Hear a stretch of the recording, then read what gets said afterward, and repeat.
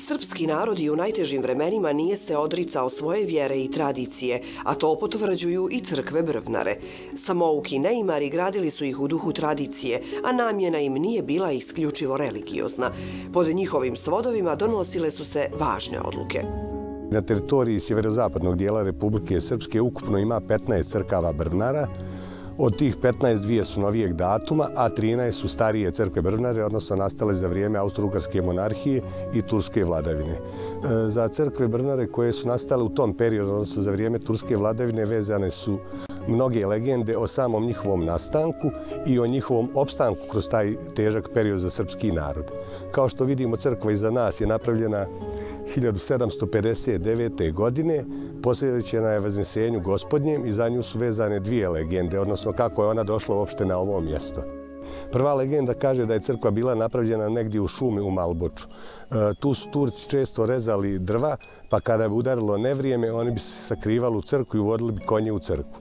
Zbog toga je seljacima dosadilo da im se na taj način skrnavi crkva i oni su prenijeli crkvu na ovo sadašnje mjesto.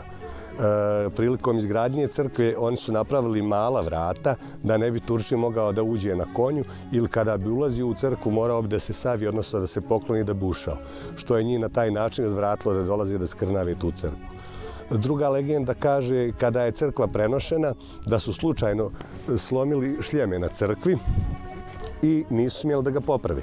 Kada su pitali turske vlasti da poprave šljeme, njima je bilo odobreno da ga naprave, ali da ne upotrebe ni jedan ekser, odnosno čavao.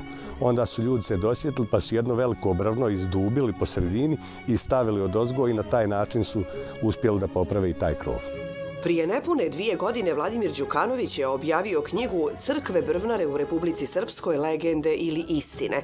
A ovih dana iz štampe bi trebalo da izađe izdanje prilagođeno djeci koje je uradio zajedno sa mladom slikarkom Milanom Stijak. Moj zadatak je bilo zapravo čitavo likovno opremanje knjige i čitav taj koncept posmatrajući sa likovne strane.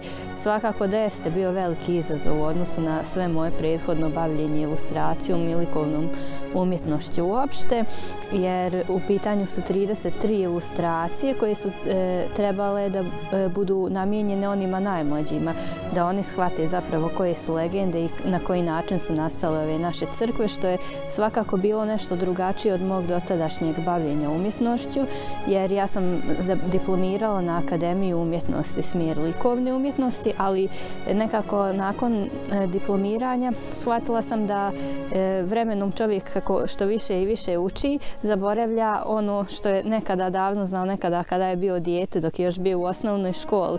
A ono što je upravo zadatak moj bio jeste da prilagodim djeci. I zbog toga bilo je potrebno da se vratim u taj neki način razmišljanja e, daleko prije nego što sam upisala akademiju i svakako da je trebalo mnogo promišljanja, mašte i naravno i zabave. Na ilustracijama sam radila od prilike oko dva mjeseca, jer svaka od tih ilustracija mm, je prolazila kroz više faza. Zapravo onaj dio koji je meni najzahtjevniji bio jeste sam koncept osmišljavanja na koji način bi moglo da se prikažu te legende, tako da bude jasno na slici šta se dešava i onda sljedeće faze crtež, kompozicija, boja i slično i na kraju sama likovna grafička priprema knjige.